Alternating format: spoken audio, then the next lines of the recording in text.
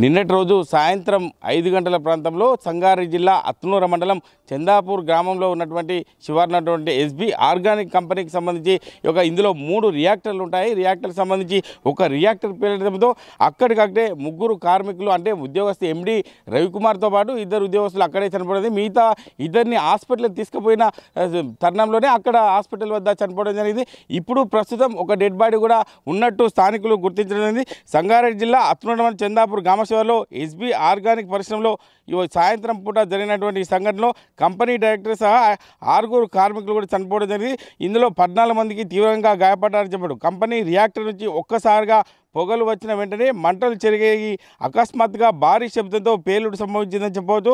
దీంతో అగ్నికీలల్లో చిక్కుకొని పరిశ్రమ యజమానుల్లో ఒకరైన హైదరాబాద్కు చెందిన రవి కుమార్తో పాటు ప్రొడక్షన్ ఆఫీసర్లు సుబ్రహ్మణ్యం దయానంద్ మధ్యప్రదేశ్ చెందిన మెయింటెనెన్స్ ఇన్ఛార్జ్ సురేష్ పాల్తో పాటు సజీవ దహనమయ్యారని చెప్పవచ్చు. అత్నూడ మండలం చందాపూర్ గ్రామానికి చెందిన కార్మికుడు చాకలి విష్ణుగా చెప్పుకోవచ్చు.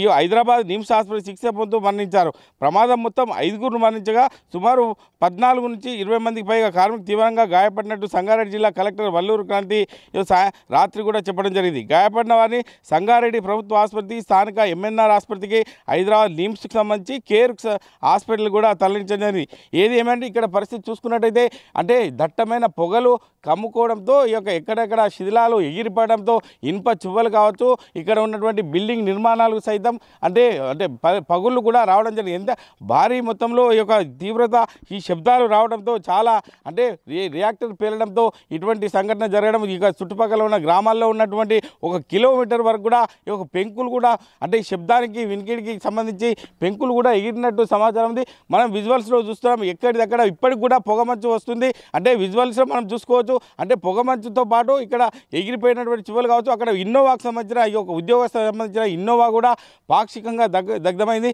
ఎక్కడిక్కడ చెల్లా చెదురుగా వస్తువులని పోవడంతో అంటే ఇక్కడ తీవ్రత చూస్తున్నట్టయితే ఈ ఇనుప సామాగ్రి సైతం అంటే ఫిట్ అయినటువంటి సామాగ్రి సైతం ఇక్కడ ఎగిరిపోయి పడడము ఎక్కడికక్కడ చెల్లాచెరై ఉండడం స- సమ- పరిస్థితి బట్టి చూస్తుంటే మనకు అర్థమవుతుంది. ఎంత భారీ శబ్దంతో ఒక శబ్దం వచ్చి ఇక్కడ ఎగిరిపడడం ఇక్కడ ఉన్నటువంటి స్థానికంగా ఉన్నటువంటి అంటే భయాందోళనతో కార్మికులందరూ ఇక్కడ స్థానికంగా బహిరంగ అంటే బహార్ ప్రయత్నంలో బయట ఉంటారు కాబట్టి వారికి శబ్దం రావడంతో అక్కడికక్కడే ముగ్గురు కార్మికులు కూడా చనిపోవడం జరిగింది. ఇంక ఇద్దరు సంబంధించి చూసుకున్నట్టయితే ఇద్దరు అంటే హాస్పిటల్ తీసుకుపోతున్న చనిపోవడం ఇప్పుడు ఒక్కరు కూడా చనిపోయింది. ఈ సంఘటనకు సంబంధించి నిన్నటి వరకు అధికారులందరినీ కూడా రేవంత్ రెడ్డి సర్కారు అధికారులు కూడా అప్రమత్తం చేసి వాళ్ళకు సరైన ట్రీట్మెంట్ ఇవ్వాలని చెప్పి నిన్ననే కూడా ఆదేశాలు జారీ చేసేది.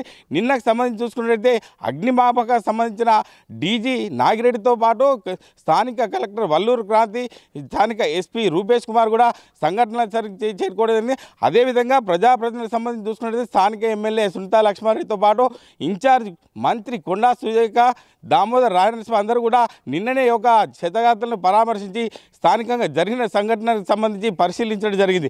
ఏది ఏమంటే చూస్తుంటే ఈ సంఘటన చూస్తుంటే విచారణవదంగా ఉందని చెప్పవచ్చు. అంటే ఇక్కడ పరిస్థితి బట్టి చూస్తుంటే పేలిన సంఘటన ఈ యొక్క చనిపోయిన కుటుంబాల పరిస్థితి అందరూ కూడా రోదనలతో కూడా నిండిందని చెప్పవచ్చు.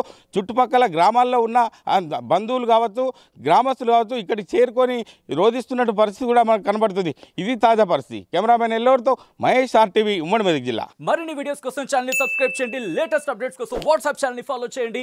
అండ్ లింక్ డిస్క్రిప్షన్లో ఉంది.